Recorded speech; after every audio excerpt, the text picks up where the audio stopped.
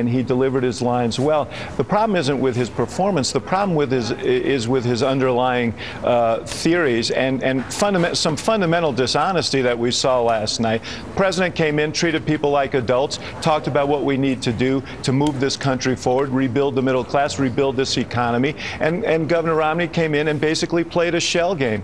You guys know this, Joe. you you you you uh, you used to deal with these issues in Congress. Uh, he wants to cut uh, personal income taxes by 20 percent, corporate taxes from 35 percent to 25 percent, extend the Bush tax cuts and the alternative minimum tax. That's five trillion dollars, whether he likes likes it or not, or whether he wants to admit it or not. And he says he's going to do that all without adding to the deficits. How?